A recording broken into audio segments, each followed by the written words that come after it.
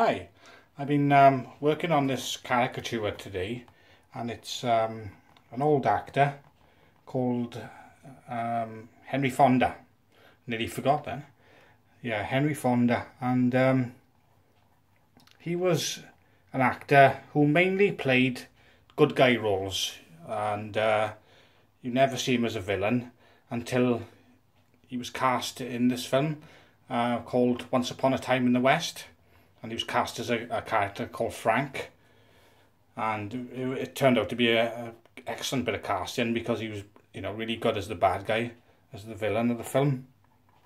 And um, it's a 1968 film directed by Sergio Leone. And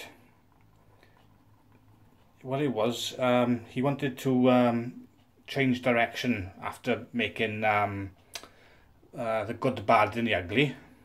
I think it was The Good, Bad, and the Ugly. One of them, anyway. One of them ones with Clint Eastwood. And when he finished the last film, he wanted to take another direction, but ended up being tempted to do this western. So they tried to get um, Clint Eastwood to be in this film, but he turned it down. And they had um, Charles Bronson instead. So um, I can't remember Charles Bronson's character, but he's he's very much like uh, the Clint Eastwood character you'd you'd you'd uh, see in the spaghetti films. So it's an excellent film, worth a watch. It's um, it's probably about nearly two, three hours uh, running time. I think the film is. And when I started this sketch, it, it was only meant to be like um, uh, a rough sketch, you know, to see how it would turn out. But I ended up finishing it because I haven't drawn this on paper, I've drawn this on the back back of one of my books. And uh, but I decided to finish it off. I might do it again one day on a, on a bit of paper. I might draw it again, take my time. You might be able to see us rushed by the uh, some of the strokes.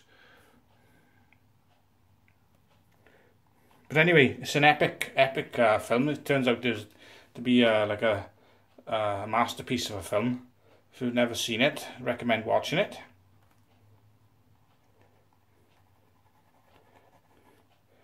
There we are. So there's Henry Fonda. Bit of a close-up.